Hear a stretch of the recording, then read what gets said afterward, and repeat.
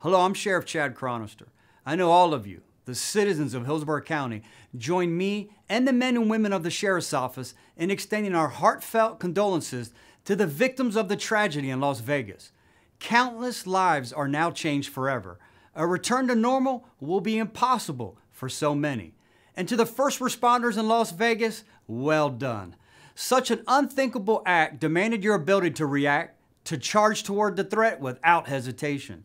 We salute your actions. You save lives. You deserve to wear the badge of a law enforcement, a firefighter, and a paramedic. To the citizens of our county, I want you to know that your sheriff's office is doing everything we can to prepare and train deputies to respond to a crisis. No one is ready for a tragedy that can't even be imagined, like the one in Las Vegas. But through constant education and training, we can all be prepared as much as possible to save lives. Deputies each year are trained on how to take every precaution possible to prevent or reduce the likelihood of a tragedy. We have to be at the ready.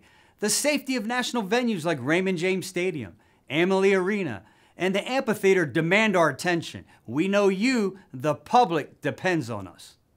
Rest assured that your Sheriff's Office, along with our local, state, and federal partners, is prepared. First responders across the nation learn from past tragedies what didn't work and what did.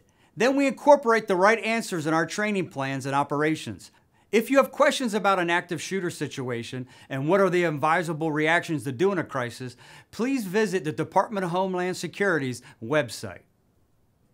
There are no right answers to a situation that is impossible to plan for. You, the individual, must decide how to react. But educate yourself. Never forget that when a crisis erupts, we are all in it together.